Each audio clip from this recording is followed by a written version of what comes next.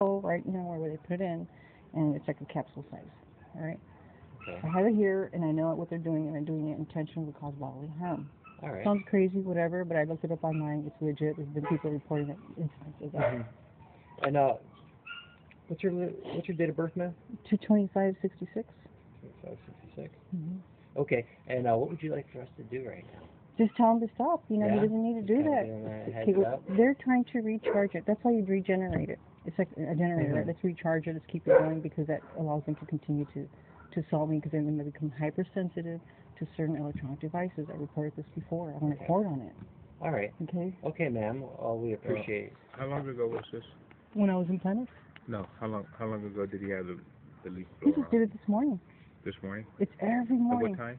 six to eight o'clock in the morning. I mean, if you want to come back when we're doing it, try to catch him. Yeah. Yeah, Yeah. you, you, you I mean, Mm-hmm. it's it's better that you call us when the the incident's going on Mhm. as opposed to waiting until like it's it's calm or cooled down and all that because we have to we have to be able to witness it or it has to be fresh before we can go and